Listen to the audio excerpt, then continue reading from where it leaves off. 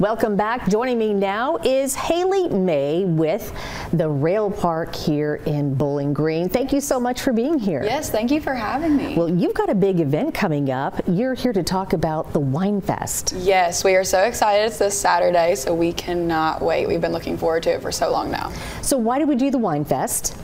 So we partner with the Kentucky Wineries Association to host the big, big Bowling Green Wineries, uh, I mean the big Bowling Green Wine Fest here. And we have about 10 wineries come out this year.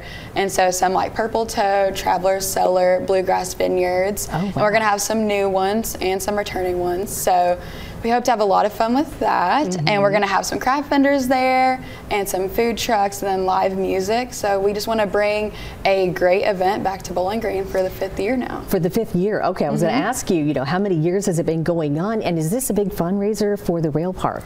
Yes, for the Rail Park and the Kentucky Kentucky Wineries Association. Okay, so you said crafts, uh, craft vendors will be there. That's one of my favorite things. Yes, we are going to have some craft vendors outside with a variety of different products and homemade goods and things like that. That's always fun. So tell me about the food trucks. Do what can we expect? Yes, so we do have a variety of food trucks as well. So we have Crave Food Truck, we'll have Hilltopper Creamery inside. Mm-hmm. Um, so they're always a big hit with the guest. And then we'll also have Totally Baked and then Bluegrass Bakes for a little sweet treat too. Okay, yeah, we need some sweets, right? Yes. and then plenty. Will there be wine tasting?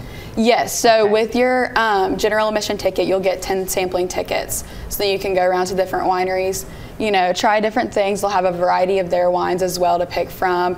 The wineries will be telling kind of about each wine. You can talk to them, mm-hmm. check it out, buy bottles if you like. Okay, and now we are showing some really great footage of, of the, the wine fest in the past, and so this looks like a really great event. Yes. And is it is it a one day event or does it go over a weekend? Nope, it's just this Saturday and it's from 12 to 6. So, you know, you can come at the beginning or kind of midday, just depending on your schedule. It'll be mm-hmm. going on the whole day. We'll have live music the whole day as well. So, everyone will be there and we're looking forward to it the whole time. Okay, so what artists do you have? Any artists? Are they local artists that are coming to? Yes, and so us? the lineup this year is we'll have Mercy Bell, The Wonderful Nobodies, and then Trevor Martin. Okay, yeah, I've heard Trevor Martin before Yes. a few times. So um, yeah, it sounds like you've got a great event coming up. Yes, we are very excited. And how do we get tickets? So you'll go to thehistoricrailpark.com, or if you go to our social media on our post, they'll have a link to the tickets as well. Okay, and ticket prices? So they are $35 for the general admission. We already sold out a VIP this year, unfortunately. Okay. And then we also have $5 driver tickets available. Okay, and what driver tickets? Yes, so we wanted to give that opportunity for, you know, if you still want to attend Wine Fest, but you were going to be a driver, you didn't plan on sampling, and you were just kind of coming there to also enjoy the day, maybe see craft vendors. Um, but also, we just wanted to provide that kind of as like a discounted price just in case you weren't there to sample the wine. Okay, all right. Well, that sounds really great. So, what is your favorite thing about the Wine Fest?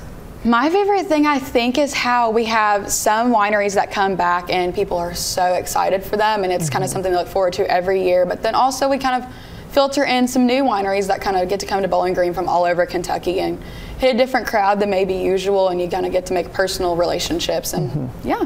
All right. my well, favorite part. Haley May with the Historic Rail Park and Train Museum, thank you so much for being here. Thank you for having me. And um, how do people, there it is right there. I don't have to ask you, I can now say it. you just call 745 7317 for tickets and info or go to historicrailpark.com. We'll be right back.